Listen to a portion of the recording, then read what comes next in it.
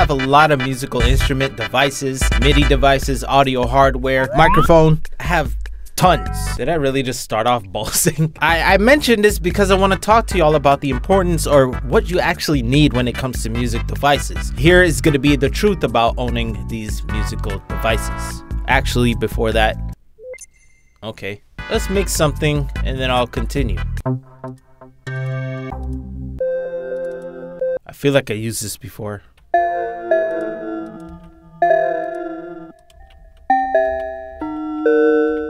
That's the one I want.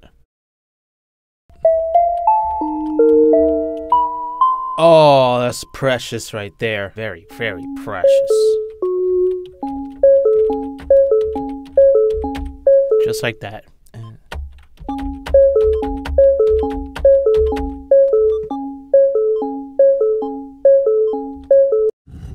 Yeah, I like it. So you may be noticing already, hey, why are you using this keyboard and not this keyboard?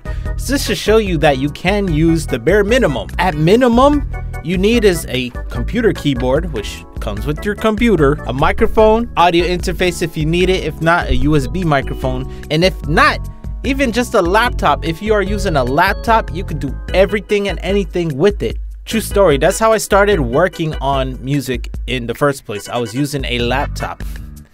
Yes, this is cringe, but this computer right here in the background, this is a Dell Latitude D600. Hold on. This is my OG baby. I used this thing until it couldn't even breathe anymore. I mean, look at this. Fatality. Fatality. As far as uh the microphone that I used, let's see if you can see what um, if you want, go ahead and drop in the comments down below what you think this is and where this came from. But yeah, all you really need is the bare minimum. Boom, boom. I'm gonna add a little boom, boom. There you go. Getting the money and flipping the dope. You already know we snorting the coke. Uh, uh. Wow. Wow. So I want one of those. Wow. Uh, uh.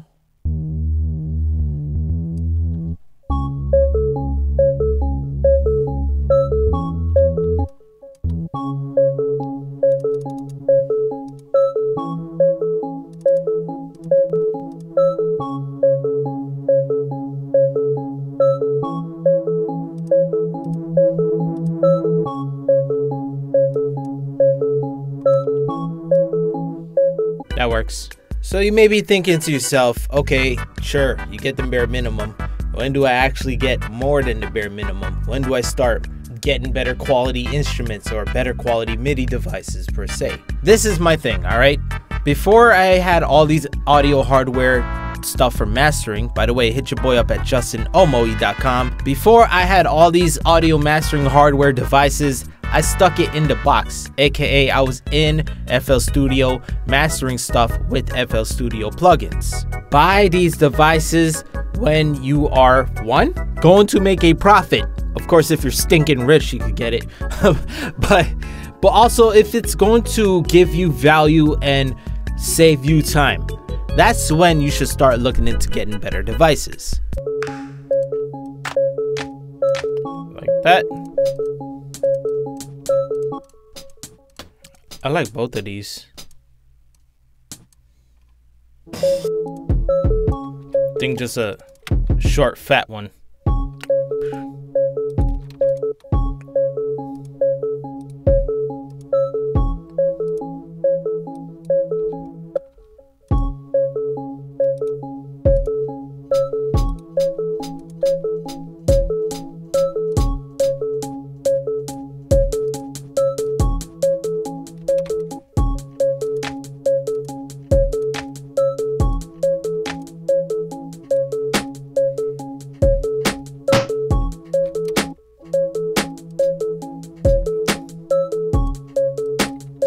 All right, now let's just give this hi-hat a little bit more life to it.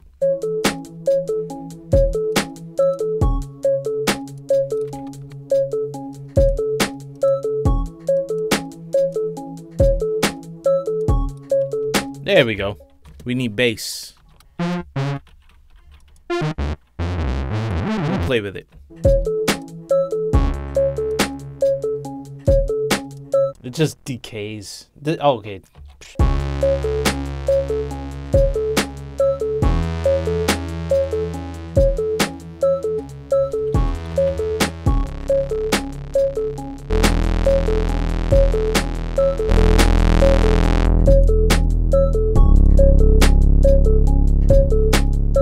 thought I was a madman for a second, didn't you?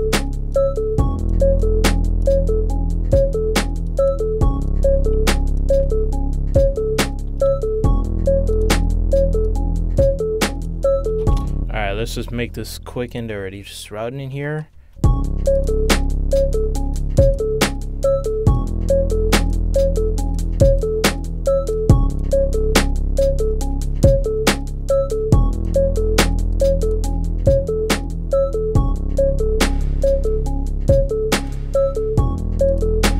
And I am going to drop all these right here.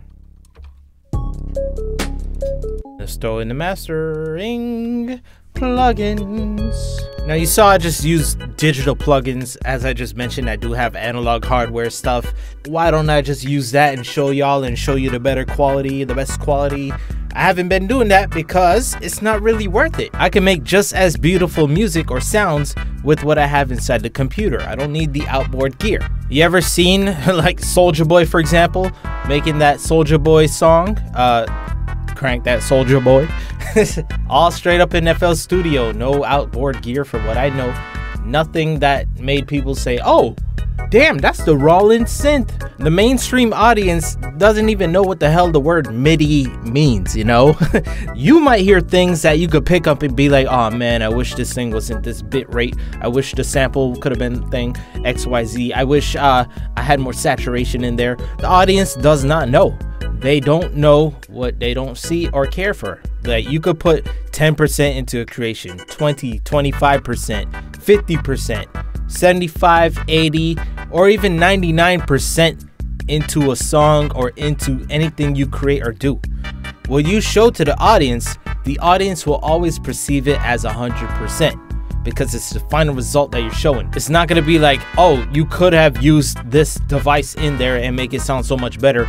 They don't know, they don't care. So just like how you were listening to this beat just now, I'm just gonna go ahead and hit play and in your own consumer mindset, not a musical mindset, be like, wow, here, here, off, on.